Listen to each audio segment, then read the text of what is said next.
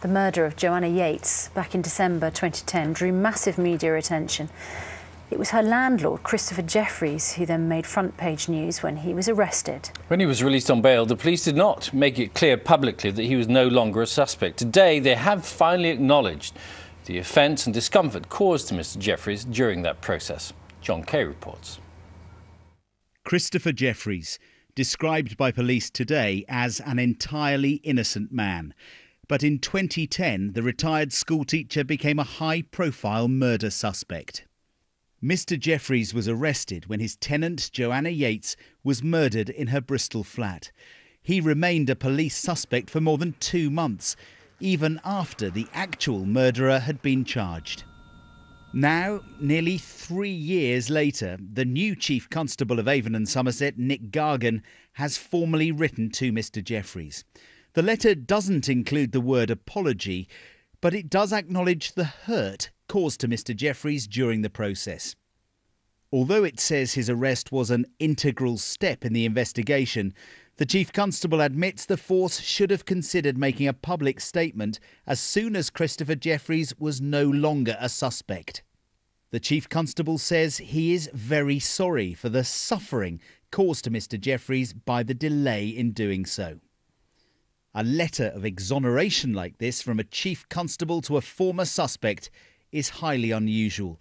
But Mr. Gargan believes the case of Christopher Jefferies was exceptional given the intense media coverage of his arrest. He's been informed that the fingerprints, photos, and DNA he gave to police while he was a suspect have now been destroyed. John Kay, BBC News, Bristol. And we can speak now to Christopher Jefferies, who joins us from Bristol. Mr. Jefferies, thanks very much for joining us this morning. Uh, John mentioned in his report there the police say sorry for the suffering caused to you by their actions during the investigation, but there's been no formal apology. Should there have been one?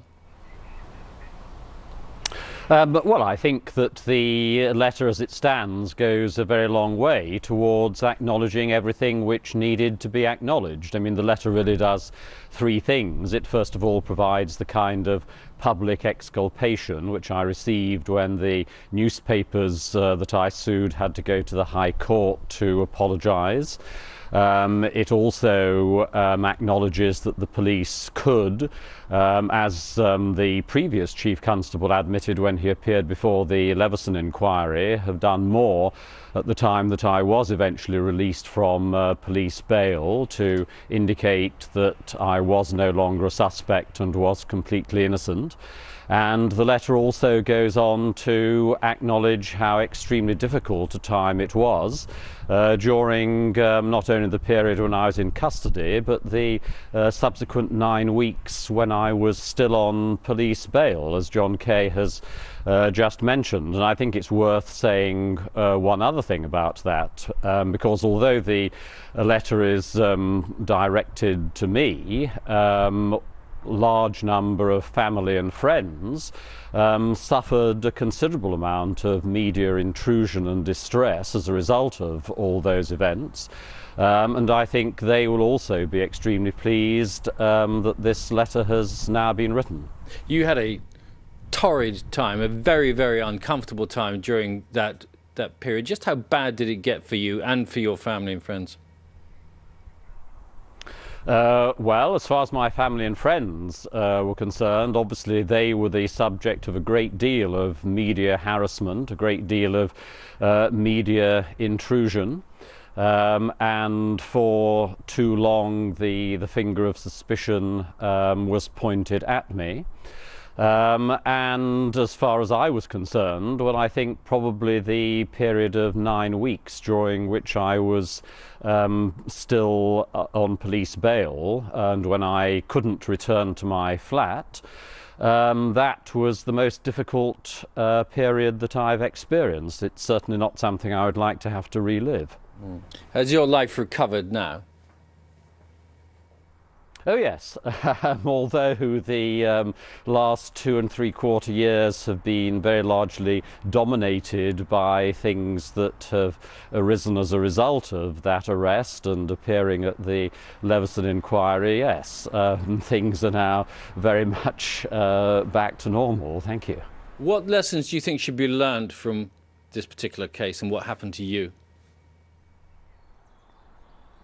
Uh, well, I, uh, the chief constable has actually suggested that it might be quite interesting if, at some point in the future, I were to speak to um, his detectives, um, because I think he feels that it would be quite interesting for them to hear from somebody on the other side of the of the fence, as it were um, exactly the kind of experience uh, which they need to be aware of, um, the actions which they are um, initiating uh, result in. So, is it a question for you then of, of the way the police and detectives dealt with you specifically in this case, or do you think there is something procedural that should change so this doesn't happen to somebody else in the future?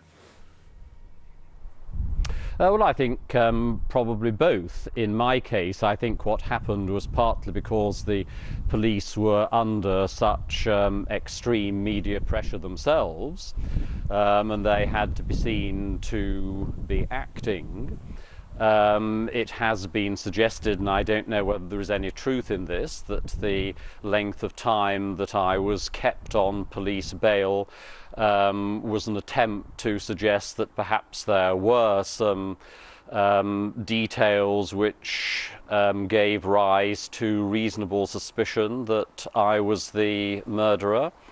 Um, but um, I think it's extremely important that when investigations such as this are being conducted, um, the police do realise just how much distress can be caused, as happened in my case, to entirely innocent people. Christopher Jefferies, thanks very much for joining us this morning. Thank you.